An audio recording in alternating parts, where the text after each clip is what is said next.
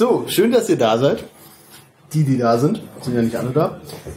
Ähm, ich will auch jetzt gar nicht so viel erzählen. Ich will nur ganz kurz erwähnen, äh, es gibt Getränke, dank unserem großartigen Sponsor haben wir die auch zum Einkaufspreis sozusagen.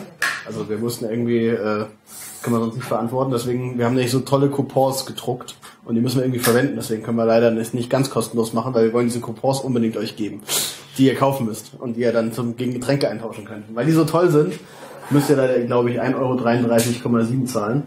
Oder, wo ist denn der Alex? Ist eh nicht da. Gut. Der hätte jetzt so einen Coupon in die Kamera halten können. Ähm, aber es gibt eine Menge Essen von Haki und Natalie ganz toll gemacht und das dürft ihr euch einfach nehmen, das ist so gegen Spende, wenn ihr wollt. Äh, da gibt's auch noch mehr. Also das Buffet ist sozusagen eröffnet. Und das ist eigentlich so das, was ich formeshalber sagen wollte. Ansonsten geht's ja hier wie immer bei der Trollcon darum, möglichst äh, kreativ sich über das Thema Trollen auszutauschen auch und auch irgendwie in persönlichen Gespräch abseits von Vorträgen, davon haben wir ja nicht so viele mehr, äh, ein bisschen Lesekompetenz zum Beispiel zu üben. Und deswegen ist es schön, dass ihr hier seid und mit uns darüber reden wollt, was Trollen für euch ist und wie ihr euch äh, das so vorstellt.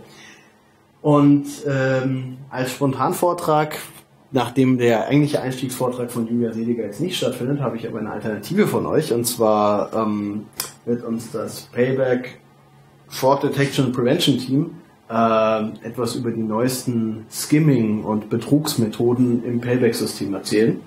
Und das würde ich jetzt gleich mal als ersten Vortrag sozusagen vorschlagen.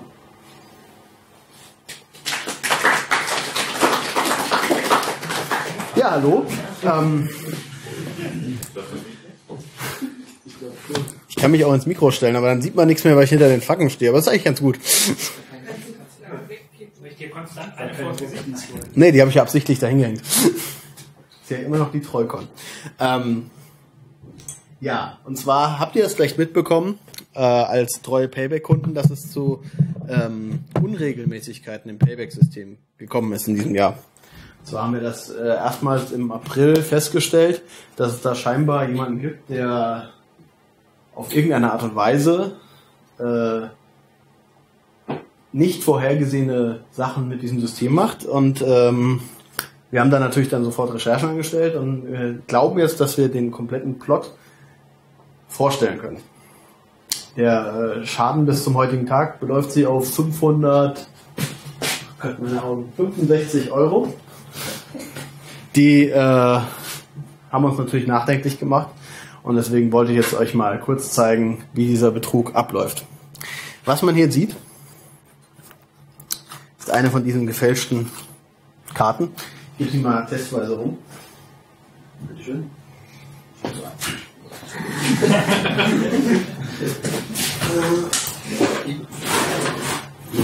Ich Anmeldung.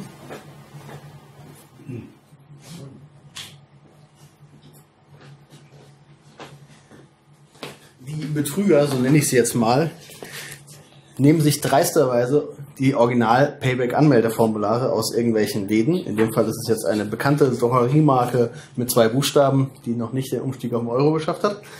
Und ähm, nehmen sich diese wunderschönen Anmeldeformulare, entfernen daraus die Payback-Karten. So.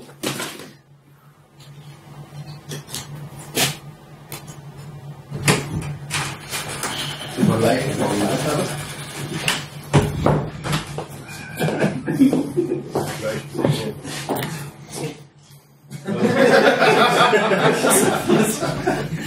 Ah, okay, jetzt sehe ich den Unterschied. Ja, klar.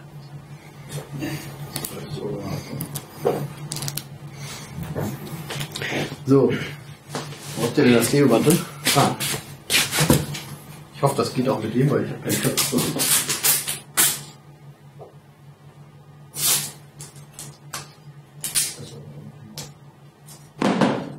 Diese bösen Menschen haben tatsächlich verschiedenste Methoden anscheinend ausprobiert, um herauszufinden, wie man am besten das jetzt macht, was jetzt gleich kommt. Und haben herausgefunden, dass am besten mit einem Schwingschleifer geht. Die gerade.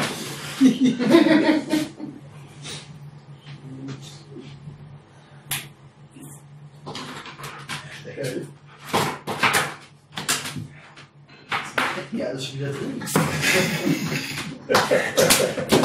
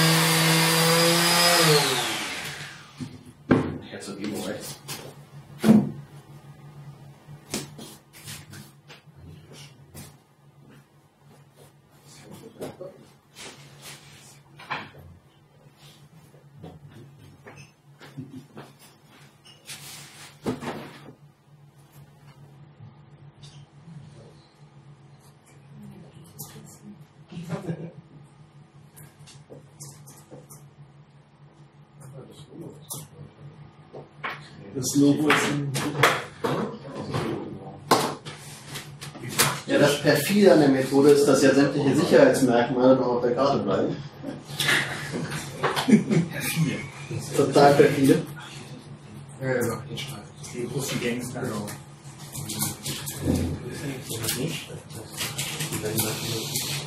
Ja, der Magnetstreifen ist deswegen abgeklebt, dass äh, sonst schleift man den ja mit ab.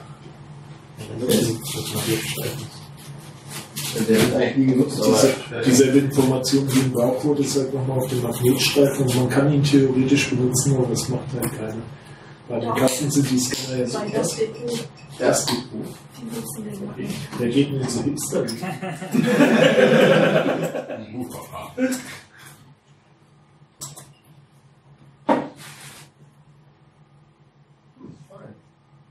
Ah, das ist ja ganz schön dämlich von denen eigentlich.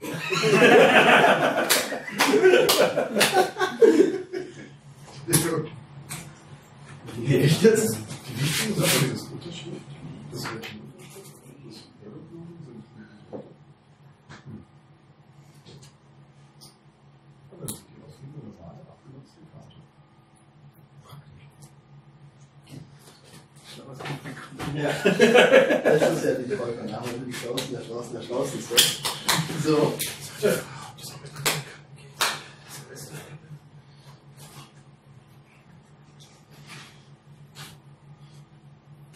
Weil wenn man diesen schönen Kleber hier wieder abmacht, ist auch der Magnetstreifen problemlos benutzt wird.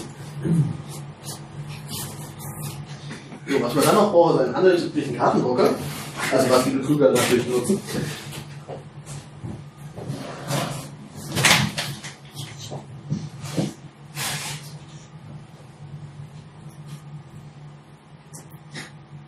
Brauchst du eine Brille? Man braucht einen handelsüblichen funktionierenden Kartendrucker. Ein Laptop mit Treiber. Ja. Wusstet ihr, dass Windows-Treiber nach USB-Port sortiert? Ja, Hier sind sie. ich weiß das. Oh, was weiß ich, welcher Port hier der richtige ist.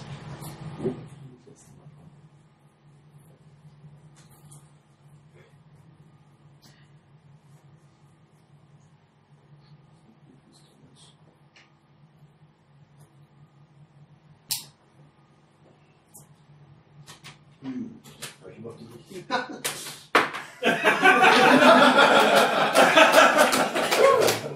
Ja, ja, ja. Wir Treiber sogar je nach Gerät. Also unüblich. So, nicht nur Die USB-ID wird ausgewertet. Ja, hat FCDI ja auch gemacht. Nee,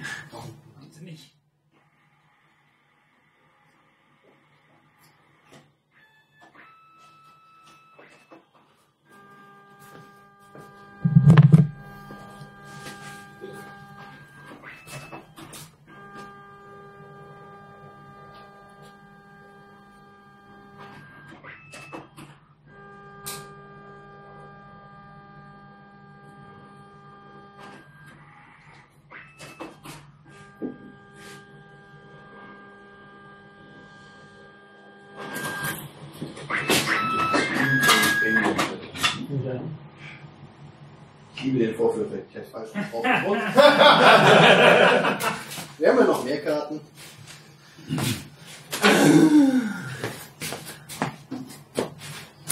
Ich glaube, unser Publikum kann es sich im Zweifel auch vorstellen. Ja, wir wollen Nein. eigentlich noch Schritt 2 machen. Wir wissen das. Problem ist, Schritt- Intelligenz. Schritt 2 geht nicht, weil ich habe jetzt gerade den äh, Magnetstreifen mit diesem, also Achso, so, so ein Karten, Folie. ja, so ein Kartenfoto hat nämlich nicht nur, also der druckt halt äh, CMYK, aber er druckt dann halt auch noch eine klare Schicht oben drauf, um das zu schützen. Und die ging jetzt über den Magnetstreifen, deswegen hätte ich es jetzt im Zweifel zwar nicht mehr neu beschreiben können.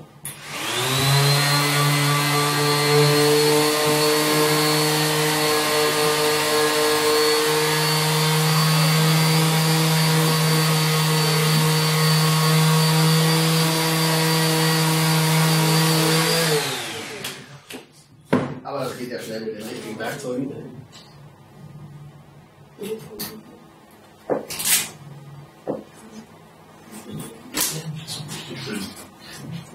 Es sind, Bild, es sind Bilder durch so soziale Netzwerke äh, geflogen von irgendwie mehreren Reihen äh, Payback-Karten, die nebeneinander fixiert waren. Mhm. Einfach die Beschreibung. So ein Fördersystem. Haben wir geguckt, das oder nicht? Ja. Ist, falsch ist. das Wert zwischen Wert eingenommen und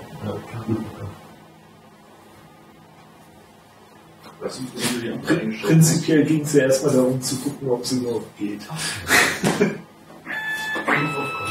Nächster Versuch, bleibt euch nicht richtig rum.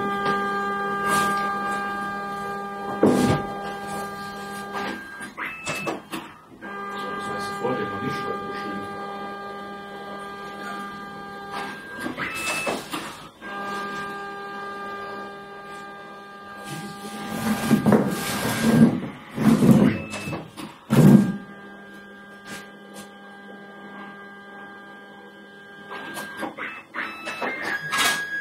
Ah, komm, mach mal richtig.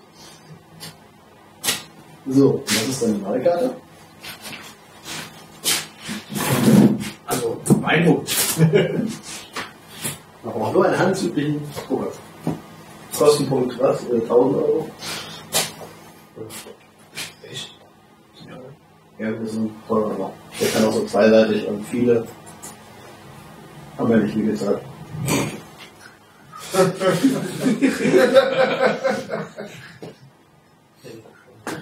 So, und ihr habt schon richtig festgestellt, dass ja noch Magnetstreifen drauf. Also wollen wir noch einen handelsüblichen markierscharfen Schreibegerät. Sieht so aus. Äh, warum schickt ihr das Kabel? Ich dachte schon, dass eine Also ich habe das ja vorhin mal vorbereitet. Und dann hat irgendjemand hier anscheinend alle Kabel sortiert. Oh, eine Steckdose. Ja, Ein vorbereiteter Tisch. ja, Das muss diese Ladestation sein. ja. So. Und wenn man dann die richtige Software verwendet, die ich euch jetzt nicht zeigen darf, aus urheberrechtlichen Gründen, nicht gut, ähm, die aber in China noch, ich gehört, zur Verfügung steht.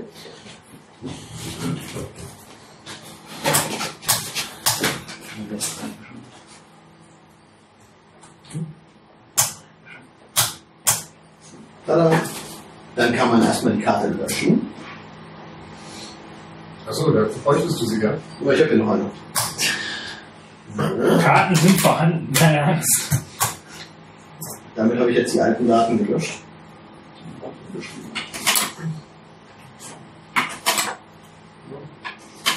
Oder auch nicht, weil ich sie falsch durchgezogen habe.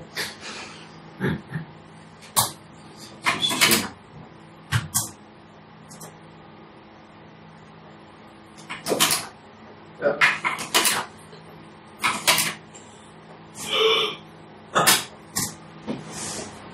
Und dann kann man die auch noch gleich mitlöschen. So. Das den letzten Tag nutzt. Ja, also man kann es, äh, man dann dann geht das.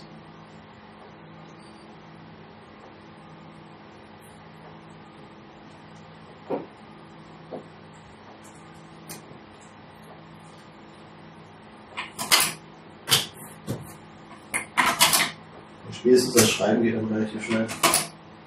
So. Und schon hat man die richtigen Daten draufstehen.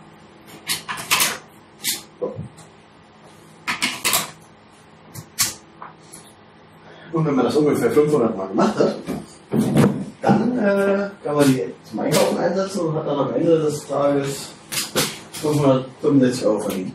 Jetzt fragt ihr euch aber, jetzt hat man diese scheiß Payback-Punkte. Die sind ja jetzt nicht unnütz. Wähle eine Karte.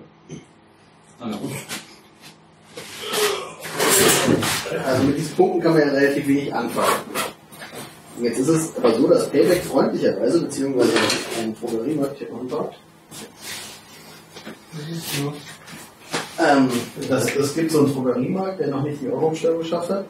Und der ist netterweise so gütig, dass man sich mit Payback-Punkten kann man sich Gutscheine ausdrucken. Die sehen dann so aus. Das ist jetzt ein 2-Euro-Gutschein. Den habe ich mir jetzt schnell noch voll geholt, damit ich was zeigen kann. Und mit diesem Gutschein kann man in die Kasse gehen und sagen, ich will nichts kaufen, ich will nur Geld dafür. Und dann sagt die Kassiererin, aber gerne doch. und dann hat man Geld dafür. Und wenn man das alle zwei Wochen macht oder jeweils irgendwie 30 Euro rauskriegt, dann hat man am Ende des Tages irgendwie Kostenloses Essen für die Trollke. kostenloses Essen für die Trollkon. Wer? Wer kann das machen? Was? Den Gutschein ausdrucken? Ähm, also das ist sehr lustig. Payback hat ein Sicherheitsmodell. Ihr habt, ihr habt ja sicherlich hier äh, die auf allen Stühlen ausliegenden äh, Ja, Datenschutz-Flyer Flyer von Payback gefunden, wo euch.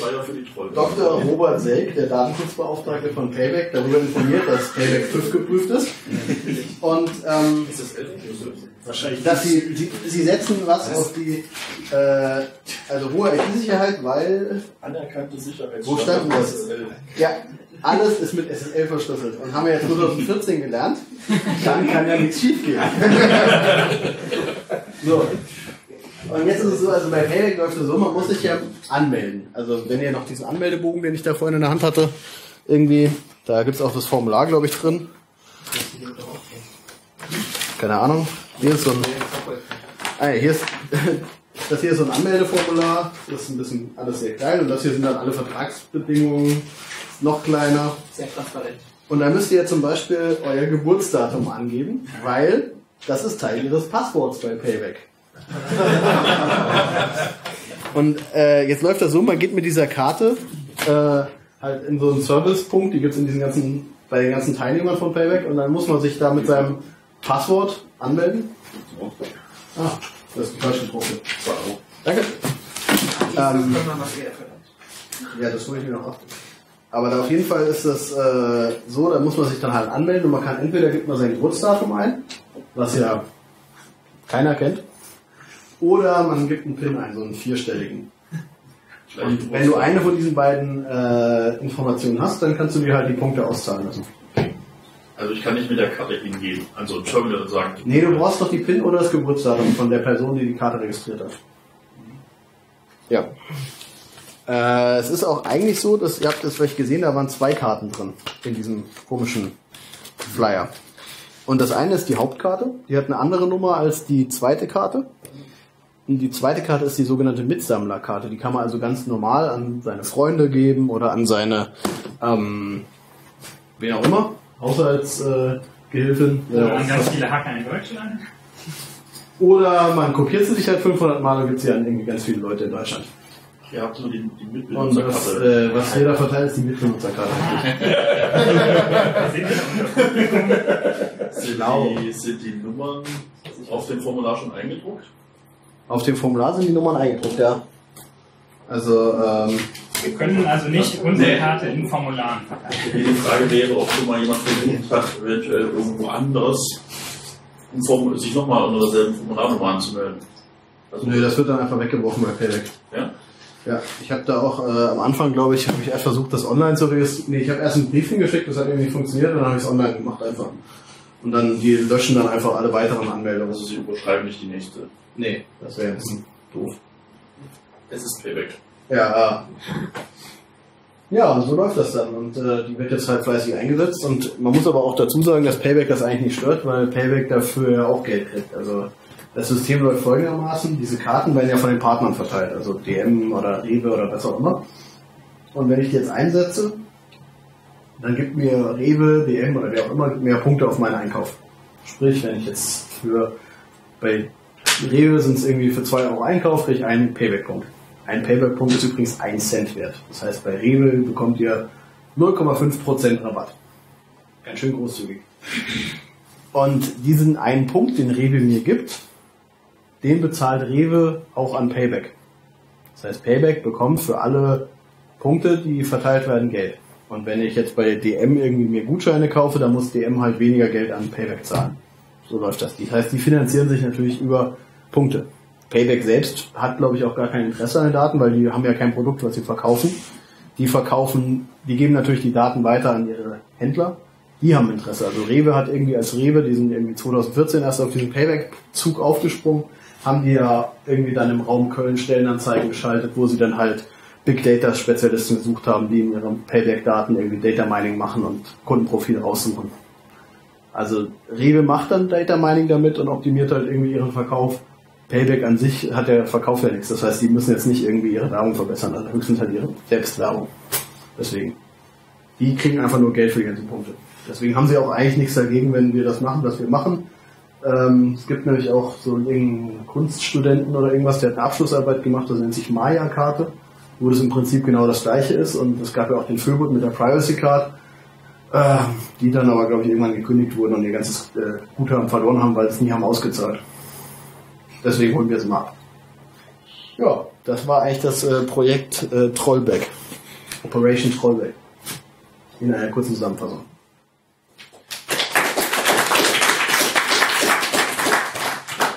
Was halt wirklich ein Problem wäre, wäre, wenn man Punkte generiert, ohne dafür einen Einkauf zu tätigen. Das wäre dann tatsächlich äh, Betrug und äh, da ist dann auch nicht mit zu spaßen. Ja, da können sie was dagegen haben, aber in dem Fall ist es ja so, passiert nichts. Also sie kriegen Geld und freuen sich. Und man muss ja auch sagen, das sind jetzt irgendwie 50.000 Punkte. Bei Rewe, wie gesagt, ein Punkt für 2 Euro Einkauf, das heißt, das sind mal irgendwie 100.000 Euro flockiger Umsatz bei Rewe. Oder halt, keine Ahnung, bei anderen Partnern ist die Quote anders. Aber Rewe ist ja mit 0,5 noch gut dabei. Also bei Aral kriegt man für 2 Liter Treibstoff einen Punkt. Und 2 Liter Treibstoff sind ja eher 3 Euro, das heißt, da bist du bei 0,3% Rabatt. Bei DM glaube ich sogar 1%. Ich glaube, da kriegst du pro Euro einen Punkt. Aber also, eigentlich lohnt sich das nicht. Das muss man wirklich sagen. Man nimmt bloß das mit, was andere verschenken. Also wer sich selbst äh, trotzdem bezahlt. Kannst du so argumentieren. Aber da, ich meine, im Normalfall gibst du ja dafür halt deinen Einkaufsverhaltenpreis. Und ob dir das jetzt deine, die 0,3 Cent Rabatt wert ist, kannst du dir dann überlegen. Das ist halt, ähm, das ist was, was auch nochmal interessant wäre, halt äh, für diese, äh, wie heißt sie? Friederika Nord. Ja, Federica Nord ist die, eine der besten Ja, Payback-Kunden in für Deutschland. Ja. Friederika Nord äh, vielleicht irgendwann mal eine Informationsfreiheitsanfrage zu stellen, Ja. um mal zu gucken, was da so gesammelt wurde, weil äh, es tatsächlich so ist, dass die Karten deutschlandweit im Einsatz sind und äh, ein sehr erratisches Einkaufsverhalten zeigen. Das sieht man an diesen Gutscheinen ganz gut. Ja, also Friederika geht irgendwie am Tag 10 bis 20 Mal bei Rewe einkaufen. Ist halt sehr vergesslich. Und äh, ist irgendwie, kauft auch mehrmals am Tag Treibstoff bei Aral, was aber auch sich wieder dadurch erklärt, dass sie auch immer hin und her fahren muss. Äh, Deswegen, das ist ja nicht logisch. Also wenn sie halt gleichzeitig in Berlin und Hamburg einkauft, dann muss sie auch die Strecke dazwischen. muss sie kurz auch in München tanken. Sehr logisch. Die Kühlschränke müssen ja auch voll sein. Und Nee. ja. Aber ansonsten ist das, äh, also, kann natürlich ja jeder für sich entscheiden, wie es will, aber bei der Karte hat man natürlich den Vorteil, dass die äh, keine Profilbildung zulässt mehr. Ja, nicht, nicht von Payback, aber die Friederike kann natürlich gucken, was ihre ganzen Mitbenutzer machen. ne? Nee, das kann Friederike, also im Standard in Essingen auch nicht. Also man sieht online nur den Tag und den Partner. Wenn du Das die heißt, da steht- wenn du die Anfrage stellst, was für Daten Das ist ja die Frage, das wissen wir noch nicht, was da kommt. Aber offiziell sieht man momentan bei Rewe nur, äh, keine Ahnung, 27. November, Ja. Rewe.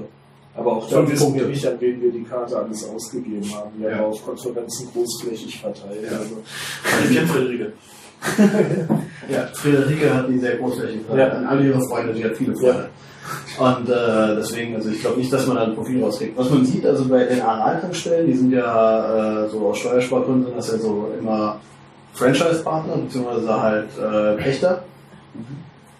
Da steht dann immer der Name des Pächters noch dabei. Das heißt, man kann sehen, an welcher Aral-Tankstelle oder falls, äh, ich weiß nicht, ob es einen Pächter gibt, der mehrere hat, das wird es bestimmt auch geben. Das heißt, da könnte man zumindest die Region erkennen. Das geht bei Rewe jetzt nicht, bei Aral geht das zum Beispiel. Bei Rewe steht nicht, welches Bei Rewe steht Rewe. Rewe. Da steht Rewe 15 Punkte. Weiß auch nicht, was gekauft wurde. Meine, manchmal gibt es dann, es gibt so extra Coupons, die gibt es irgendwie wöchentlich bei Payback und äh, irgendjemand klickt die immer online an und macht halt immer aktivieren, aktivieren, aktivieren, aktivieren und dann werden die zufällig beim nächsten Einkauf verwendet. Also ähm, wenn es einen Gutschein gibt für, ich weiß nicht, 10-fach Punkte auf Obst und Gemüse, dann wird der Nächste, der bei Rewe einkauft und Obst und Gemüse kauft, egal wie viel oder wie wenig, kriegt darauf 10-fach Punkte.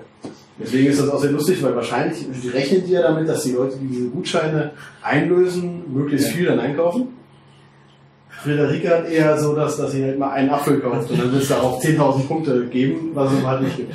Also dann kriegt sie, wir hatten schon so 15-fach Gutscheine mit 7 Punkten, also das ist wahrscheinlich nicht normal. Was aber auch ganz lustig war, weil es gab mal eine Woche, da wurde, da war sowohl Tiefkühlpizza als auch Obst und Gemüse zehnfach bepunktet und der Tiefkühlpizza-Gutschein hat tatsächlich drei Tage überlebt und der Obst und Gemüse war schon am nächsten Tag weg. Hätte ich jetzt bei der Zielgruppe des, der Karte nicht erwartet, dass der so lange hält. Ja, Gut, äh, Obst und Gemüse geht relativ schnell kaputt. Tiefkühlpizza kaufst du in der Regel einmal im Monat. ja. Nee, so ist das mit dieser Karte. Und wer will, also wir haben ja hier alles rumliegen, können wir dann noch ein paar gucken, falls ihr noch keine habt. Weil ich habe auch keine mehr. Ja, das war das eigentlich.